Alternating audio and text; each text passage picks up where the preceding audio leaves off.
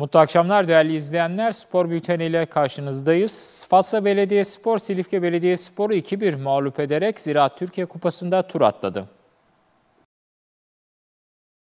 Fatsa Belediyespor Ziraat Türkiye Kupası ikinci eleme turunda Silifke Belediyespor'u konuk etti. Fatsa ilçe stadyumunda oynanan mücadelenin dördüncü dakikasında Mavi Siyah Sarılılar Fatih Balata'nın golüyle 1-0 öne geçti. Maçın ilk devresinde kalan sürede skor değişmedi ve temsilcimiz ilk yarıyı 1-0 önde tamamladı. 90 artı 2. dakikada Silifke Belediyespor Emre Kara'nın kendi kalesine attığı golle eşitliği yakalayarak maçı uzatmalara götürdü. İlk uzatma devresinin 7. dakikasında Falsa Belediyespor Muhammed Öztürk'ün golüyle 2-1 öne geçti. Kalan dakikalarda başka da gol olmayınca temsilcimiz 2-1 galip gelerek adını bir üst tura yazdırdı.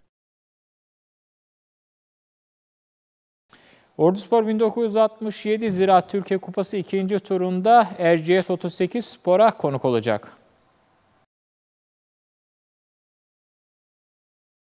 Üçüncü Lig 4. grupta mücadele eden Ordu Spor 1967 Ziraat Türkiye Kupası ikinci turunda Erciyes 38 Futbol Spor Kulübü ile mücadele edecek. Karşılaşma Perşembe akşamı 19'da RMG Enertürk Enerji Stadyumunda oynanacak. Ziraat Türkiye Kupası ikinci tur müsabakası yayıncı kuruluşu tarafından canlı yayınlanacak. Mor Beyazlar maçın hazırlıklarını Kayseri'de yaptığı antrenmanla tamamladı. Ordu Spor 1967 3. Lig 4. grupta oynadığı 5 maçta 4 galibiyet 1 beraberlik alarak 13 puanla ilk sırada bulunuyor. Mor Beyazlar'da teknik direktör Ramazan Çelik kupa maçında rotasyon yapacak. Ligde forma şansı az bulan ve bulmayan oyuncular kupa maçında boy gösterecek. 52 Orduspor, Küçükçekmece Sinopspor maçı hazırlıklarını Güyalı Turna Suyu sahasında sürdürüyor.